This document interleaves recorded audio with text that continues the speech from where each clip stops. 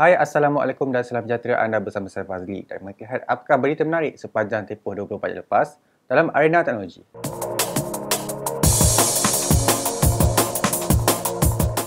Razer Punto kini telah secara rasminya dilancarkan di pasaran tempatan.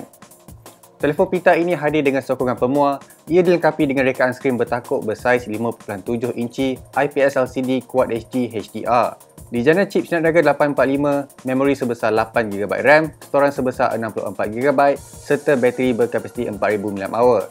Peranti ini menggunakan dua kamera utama 12MP dan kamera swafoto 8MP. Harga jualan yang ditawarkan untuk telefon pita ini adalah berharga RM3,449. Selain itu, melalui laman Indiegogo, satu pembangun bebas turut hadir dengan peranti pemuat terbaru mereka yang dinamakan Moki. Ia hadir dengan skrin bersaiz 6 inci, jenaan chip Snapdragon 710, memori 6GB RAM, storan sebesar 64GB serta berkapasiti bateri bersaiz 6000 mAh. Menariknya telefon ini turut hadir dengan sokongan butang kawalan fizikal yang terbina pada peranti. Namun telefon pita ini hanya dijual melalui laman Indiegogo pada harga RM1634. AMD baru-baru ini telah memfailkan saman terhadap MediaTek kerana melanggar pattern-pattern grafik. Ia termasuk pattern reka bentuk pemprosesan grafik, unified shader dan saluran sistem grafik selari. Sebelum ini, AMD juga pernah menyaman beberapa syarikat seperti Samsung, Global Foundries dan LG kerana melanggar pattern-pattern yang sama.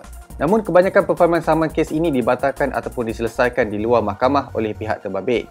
Apple telah melancarkan aksesori terbaru mereka iaitu siri kerangka Smart Battery Case untuk iPhone XS Max, iPhone XS dan juga iPhone XR. Ia menawarkan sokongan tenaga bateri tambahan untuk peranti Selain turut menyertakan sokongan untuk pengecasan nilai key melalui pengguna kerangka ini. Harga jualan bagi kerangka ini adalah RM539. Buat masa ini, ia masih belum boleh ditempah lagi secara rasmi. Akhir sekali, Maybank mengumumkan transaksi di aplikasi mudah alih kini akan menggunakan kaedah Secure to You menggantikan SMS TAC. Melalui kaedah ini, pengesahan transaksi akan ditawarkan dalam bentuk Secure Verification yang dijana pada aplikasi. Peralihan baru ini akan mula dijalankan pada 22 Januari ini. Ia akan melibatkan semua transaksi pada aplikasi termasuk instant transfer, interbank, gyro bank, pembayaran bil dan juga tambah nilai prabayar. Jadi itu sahaja rakaman mereka sepanjang tempoh 24 jam lepas. Jumpa lagi esok untuk Amas 24.